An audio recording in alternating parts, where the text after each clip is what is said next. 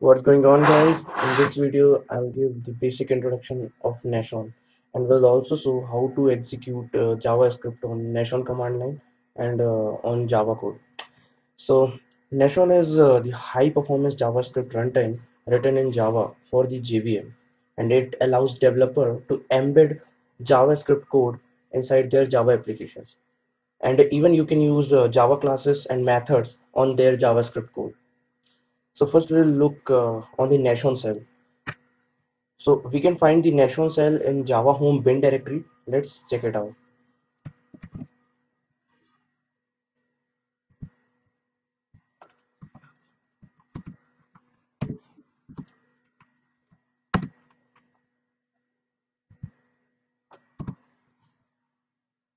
We will find jjs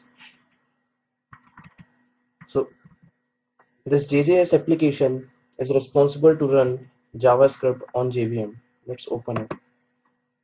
Open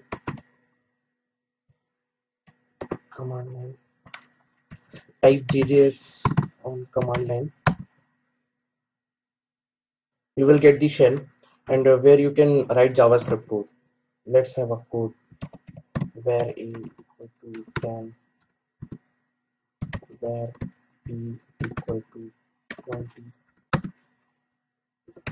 print b minus a. Yeah.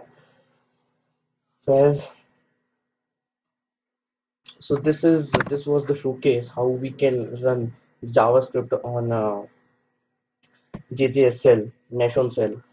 So let's go to the eclipse where where i'll show how how you can run the javascript code in java. So first you have to create the script engine manager object and uh, then also need to create engine object. And uh, there is a eval method on that engine object where you can execute the javascript. So there are the two ways to pass the javascript code. First is the string literals and uh, second is uh, second is you can pass the file okay so first uh, let's execute the string literal code. Execute.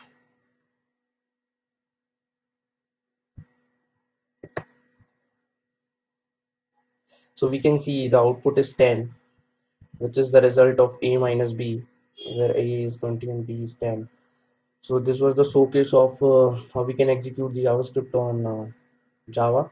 And uh, yeah let's talk about javascript file. So there is a script.js on my maven project.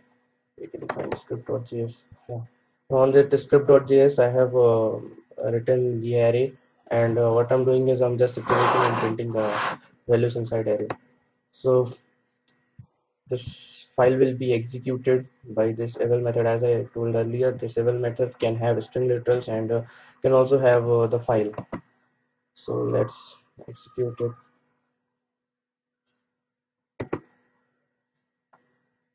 Yeah so we can see the number printed which are inside the array. And uh, so this is not it guys. On uh, next future videos we will use uh, classes like uh, array list and uh, hash map in javascript code. And uh, as well as we will use loading multiple javascripts on a single file. So stay tuned guys and uh, have a nice day